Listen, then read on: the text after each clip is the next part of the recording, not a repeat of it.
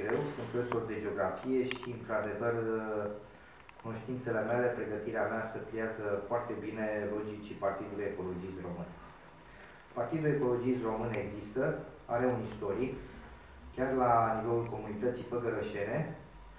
în perioada anterioară a avut și reprezentanții la nivelul administrației și personal am apreciat faptul că a existat o grupă de, sau un grup de făgărășeni care au reușit să mențină vie această idee a ecologismului de care avem uh, foarte mare nevoie. De ce m-am implicat? Am considerat că este momentul. În funcție de ceea ce se întâmplă și la nivel local, și la nivel național, și la nivel internațional, ecologismul este o opțiune politică.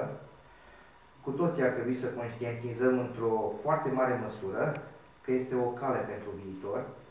fiindcă abordează atât problema de mediu, care este foarte importantă, și pe care, din păcate, de foarte multe ori o neglijăm, cu toate că România este parte, partea unor protocoale, unor convenții internaționale și Agenda 21 trebuie să se afle pe,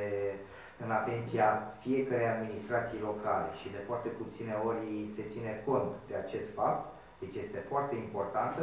dar ecologia are și o implicare de natură socială și bineînțeles că trebuie să aibă și o implicare de natură politică. Ceea ce dorim noi prin proiectul acesta este de a aduce în prim plan această mentalitate ecologistă care vizează în primul rând mediul care este casa noastră, viața noastră. Dorim ca la nivelul făgărașului acest partid să aibă un cuvânt de spus, această mișcare ecologistă să, iau, să iau amploare foarte mare și rolul meu va consta din punct de vedere teoretic, dar și practic, în conștientizarea acestui aspect. Mă voi implica din toate punctele de vedere, cum spuneau și antevorbitorii mei, Partidul Ecologist Român la Făgăraș va avea un reprezentant pentru funcția de primar al Făgărașului. Vom depune de asemenea și o listă cu candidaturi pentru consilieri. Uh, discutăm din aproape în aproape cu foarte mulți făgărășeni pe care vrem să-i coptăm în acest proiect.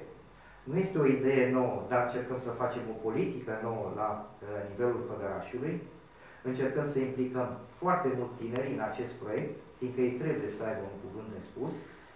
și trebuie să ținem cont că dacă dorim să schimbăm ceva cu adevărat, atât pe plan local cât și pe plan național,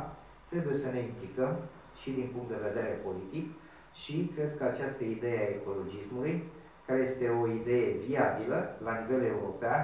va trebui să fie luată în calcul de români uh, într-o măsură mult mai mare.